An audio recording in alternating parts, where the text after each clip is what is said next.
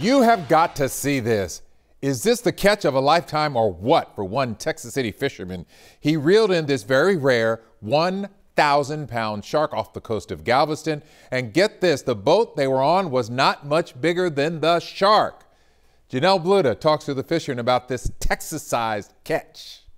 For Avery Fuller and his three brothers, it's always been their destiny. It's been in our family for as, I mean, as long as I can remember. Catching sharks off the coast of Galveston, just like Dad. We've always been trying to to beat them or match them or but they've never been able to meet the bar that dad set 30 years ago when he caught a 1000 pound tiger shark winning first place in the tournament that is until now i think there's only been three thousand pound tiger sharks caught that i know of Clint, Tyler, and Avery were out fishing last week for a tournament. So we anchored up, we got the baits ready, started chumming. It was almost midnight and they got a bite. I started setting the hooks, got it hooked, got in the harness, got strapped in. The hook was set and the fight only took about 20 minutes. Just kind of laid there in the water, did big circles, and we got it on that second circle. They knew she was big.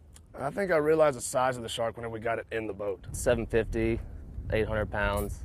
We that's what we were thinking. But they never expected this. Weighmaster said it's gonna be right at a thousand, and we just look at each other and just start freaking out. And I hopped down there and gave him high fives and hugs. It was awesome. Weighing in at 1,004 pounds. We couldn't believe it, nobody else could either. The lucky catch barely inching past Avery's goal to catch up with Dad. Adrenaline was pumping.